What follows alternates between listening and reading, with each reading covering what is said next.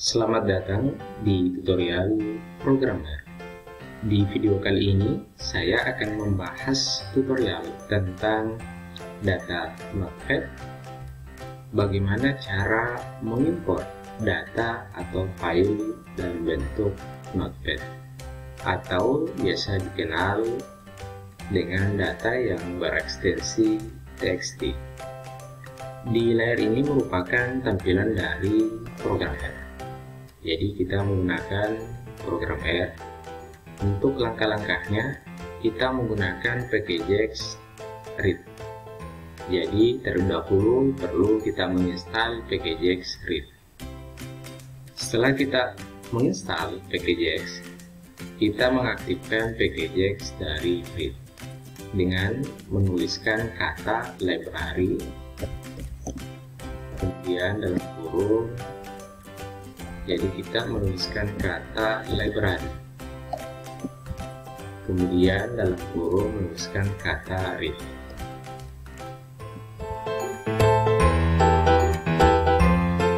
jadi untuk mengaktifkan package yang digunakan dengan menuliskan kata library kemudian dalam kurung kata atau package yang digunakan.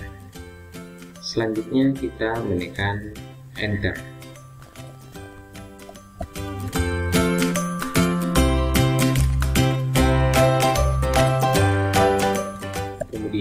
Kita menuliskan sintaks untuk mengimpor data dalam bentuk file Notepad.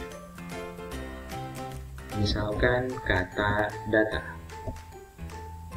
Kemudian menuliskan fungsi read kemudian delete kemudian buka kurung menuliskan kata file titik kemudian choose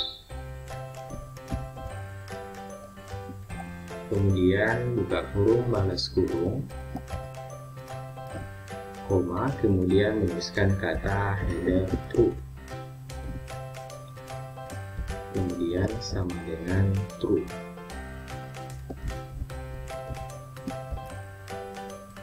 kemudian kita menekan enter jadi sintaks yang digunakan menuliskan kata data kemudian menuliskan fungsi read delete dalam kurung file titik kemudian choose buka kurung balas kurung kemudian koma. Selanjutnya menuliskan kata header sama dengan true. Kemudian balas kurung selanjutnya kita akan menekan enter. Setelah kita menekan enter, kita akan diarahkan untuk mengimpor data atau mengambil file data dalam bentuk notepad. Jadi setelah kita menekan enter, kita akan diarahkan untuk mengimpor data atau mengambil data dengan nama file misalkan contoh data. Jadi nama filenya adalah contoh data. Kemudian jadi nama filenya contoh data 1 dengan file notepad. Kemudian kita menekan enter. Open ya. Jadi setelah kita mengklik data contoh data 1 kemudian kita klik open. Kemudian kita cek datanya dengan menuliskan kata. Selanjutnya kita menekan enter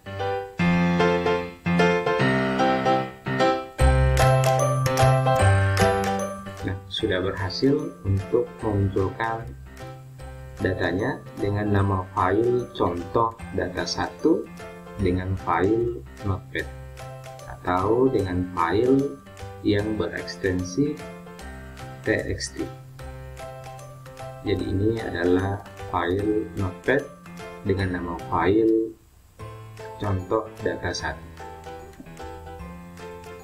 kemudian langkah kedua kita klik edit kemudian kita pilih clear console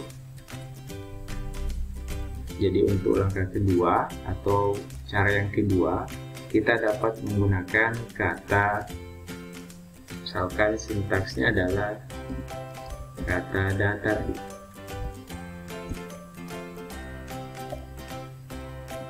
Kemudian menuliskan fungsi read value kemudian buka kurung memberi tanda petik kemudian file datanya sama dengan nama file contoh data satu.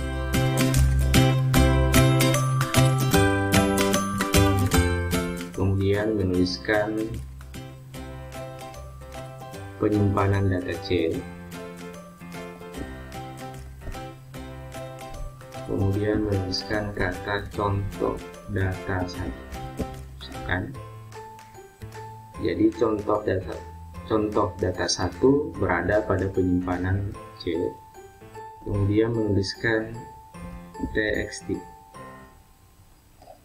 selanjutnya memberi tanda petik kemudian balas kurung. Jadi sintaksnya yang kedua menuliskan kata dataku kemudian read the dalam kurung menuliskan penyimpanan C. Kemudian nama filenya adalah contoh data 1 kemudian titik txt memberi tanda petik kemudian balas kurung. Jadi yang sintaks pertama nama filenya adalah data kemudian sintaks kedua kita menuliskan kata dataku agar tidak sama ya kita coba tekan enter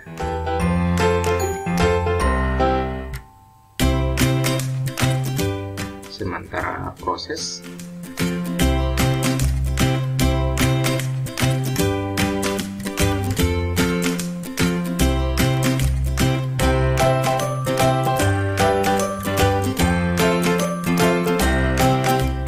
Jadi sementara proses untuk memunculkan data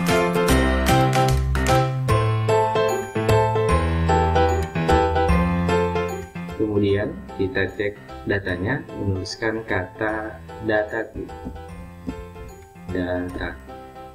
Kita tekan enter.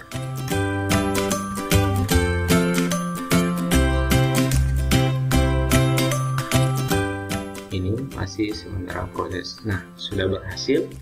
Jadi jumlah datanya 99 kemudian jumlah respondennya 99 misalkan 99 responden kemudian yang 10 ini merupakan jumlah item atau jumlah rupiah cukup sekian untuk tutorial kali ini tentang bagaimana cara mengimport data dengan file notepad atau biasa dikenal dengan file yang berekstensi txt nantikan tutorial selanjutnya Semoga channel ini bermanfaat. Terima kasih.